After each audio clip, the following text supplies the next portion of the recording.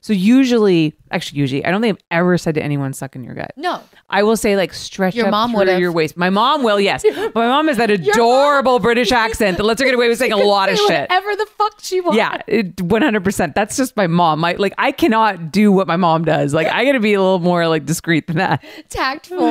yes. We Tact is another is tactfulness no. is not my mom's strong suit. No. Jesus fucking if, Christ. If she would see me and I'd put on weight because at that age my weight was fluctuating a little bit and she would just be like, you know, you got to lose 10 pounds. You know what I mean? And it, it wasn't soul crushing coming from her, though. It really, I just still wanted to shoot with her. And I knew the other guys would still shoot me with these 10 pounds on. Yeah.